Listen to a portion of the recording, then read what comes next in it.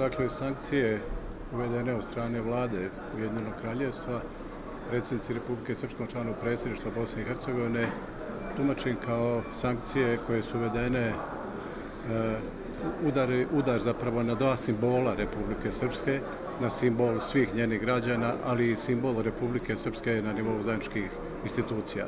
Predsjednik Republike je simbol i simbolično predstavlja i izražava jedinstvo svih građana Republike Srpske, a srpski član predsjedništva na vrlo specifičan način je simbol Republike Srpske na nivou zajedničkih institucija. Posjeću da je to srpski član predstavnik srpskog naroda iz Republike Srpske, čija je jedna od ključnih funkcija zašta vitalnog nacionalnog interesa entiteta.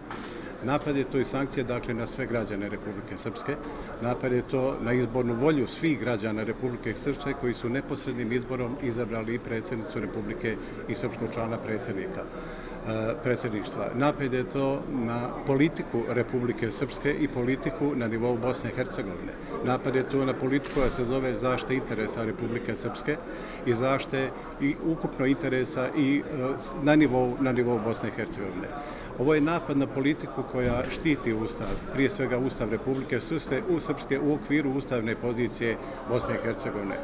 Ovo je dakle proces po meni, po meni i dalje proces uništavanja i udara na sve one koji žele da se čuvaju federalni status Republike Srpske, njenu se samostalnost u okviru Ustava Bosne i Hercegovine i Ustava Republike Srpske. Ovo je napad na sve politike koje su 26-27 godina bore za Republiku Srpsku. Ovo je trebalo da pokaže kako će svi da prođu oni koji se bore za Republiku Srpsku.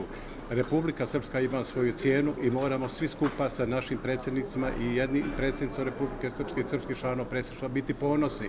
Zapravo, ako vam je danas najbolja mjera vaše ispravnosti politike, je to je ona količina mržnje svih onih koji su protiv Republike Srpske. U isto vrijeme, ovo je napad od onih koji su srušili ustavni sistem Bosne i Hercegovine i Republike Srpske prije 26 godina neustavnim prenosom nadležnosti.